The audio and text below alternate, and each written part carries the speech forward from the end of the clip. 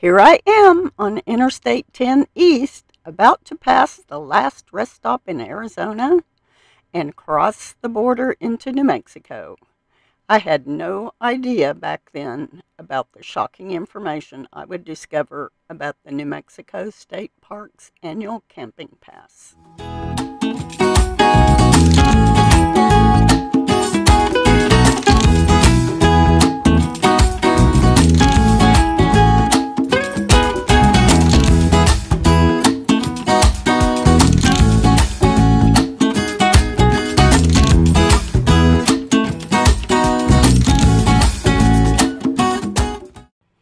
I left Tucson this morning heading to New Mexico, where I have several weeks of reservations at New Mexico State Park campgrounds.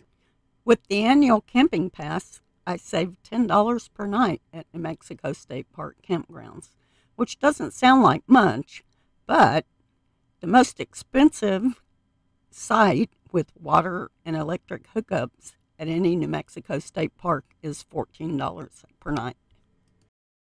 I spend the first night at Lescombes Winery in Deming, New Mexico. It's a harvest host, and it's one of my favorites.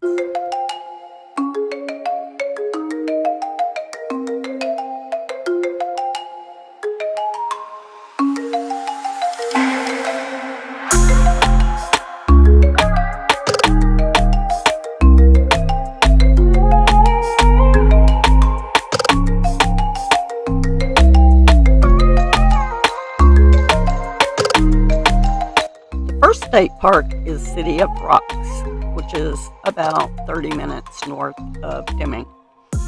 It's a very unique campground, however, it does not have electric or water hookups, and the sites don't seem to be very level. However, it's a beautiful state park and there's a lot to explore there. I would definitely go back.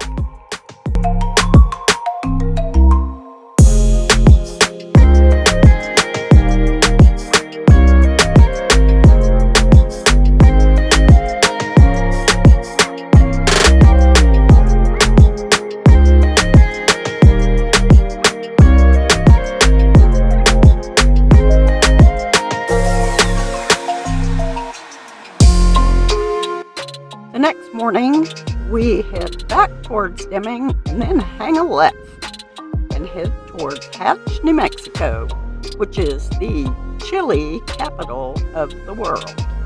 And by that, I mean green chili, spelled C H I L E.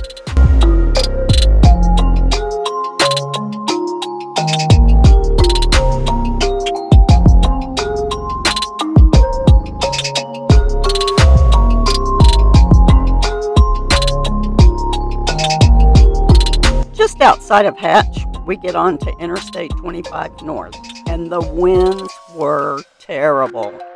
That was one of the scariest drives I've had to make in a long time. So I was very glad when we arrived at Elephant Butte State Park, which is near Truth or Consequences, New Mexico.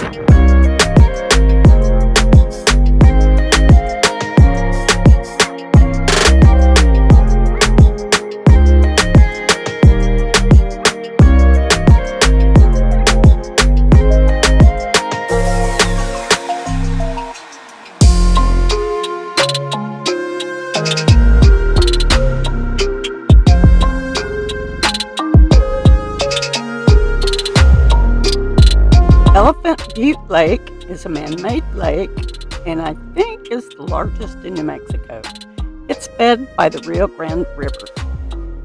Those that have been to Elephant Butte State Park in the past may be surprised to see how high the water level is. This is what it looked like in October of 2020. While I was there, I received an email from New Mexico State Parks informing me of a plan to change the fees structure and create new park rules. Essentially, they plan to eliminate the annual day pass and the annual camping pass entirely and implement a day pass fee for new residents. New Mexico residents would not be charged a day pass fee. The letter had a link to a YouTube video showing the meeting held on March 1st, 2024. I'll put a link to it in the description below. For my site at Elephant Butte, I paid $4 per night with my annual camping pass, which came to $56 for 14 days. These changes are planned to be implemented July 1st, 2024, if all is approved. It has not been finalized yet. I do understand the reasons behind it all. I'm just a bit sad that I won't be able to camp in New Mexico state parks as inexpensively as I have in the past.